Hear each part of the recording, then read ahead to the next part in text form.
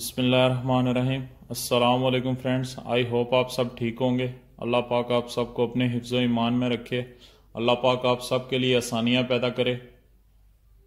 E F I electrician training session at मैं आप सबको खुश आमदीद कहता हूँ। जिन लोगों ने अभी तक चैनल को सब्सक्राइब नहीं किया, वो चैनल को सब्सक्राइब करें और वीडियोस को ज़्यादा से ज़्यादा लोगों के साथ शेयर करें ताकि सारी इन्फॉर्मेशन से ज़्यादा से ज़्यादा लोग फ़ायदा हासिल कर सकें। शुक्रिया।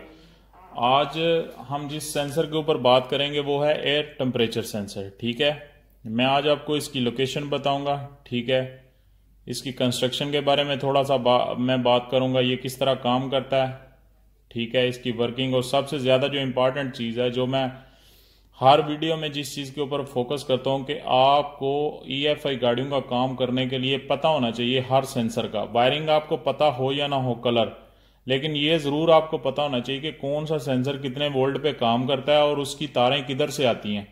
ये चीज़ सबसे ज़्यादा ज़रूरी है और इसी चीज़ को बेस बना के आप ई एफ़ आई गाड़ियों का काम ईजी कर सकते हैं।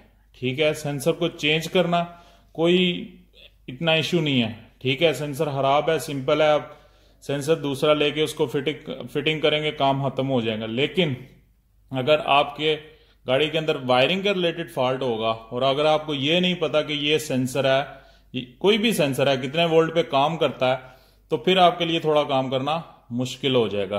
ठीक है? ये सुजुकी गाड़ी है। टोयोटा के अंदर भी मिस्तबिशी के अंदर भी जैपनीज जितनी भी गाड़ियाँ कोरियन गाड़ियाँ अमेरिकन गाड़ियाँ सब के अंदर एयर फ़िल्टर के अंदर ये एयर फ़िल्टर के बाद इसकी लोकेशन है। ठीक है? एयर फ़िल्टर के बाद जो है, इसकी लोकेशन है।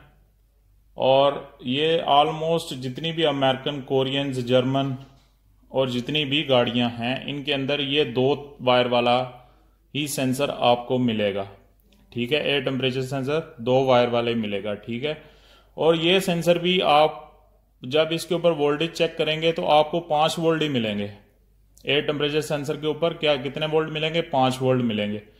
मल्टीमीटर को यूज़ करते हुए जब आप इसके ऊपर चेक करेंगे तो आपको पाँच वोल्ट मिलेंगे। एक बात, दूसरी बात, इसकी दोनों वायर जो है, वो भी कंप्यूटर से आती हैं।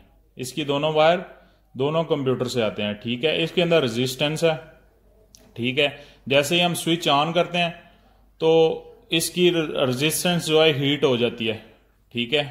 हीट हो जाती है, फिर जैसे ही गाड़ी हम स्टार्ट करते हैं इंजन जो सक करता है बाहर गियर को अपने अंदर हवा जाती है, उस हवा से फिर इसकी रेजिस्टेंस ठंडी होती है, इसके वोल्टेज कम होते हैं।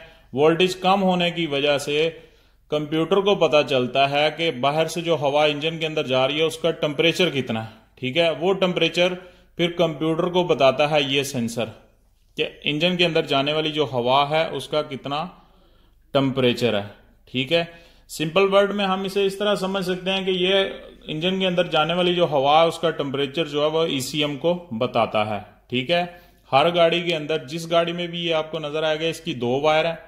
ठीक है? दोनों वायर कंप्यूटर से आती है। एक पाँच वोल्ट वायर है और दूसरी वायर कौन सी है? आउट सिग्नल है इसके। ठीक है?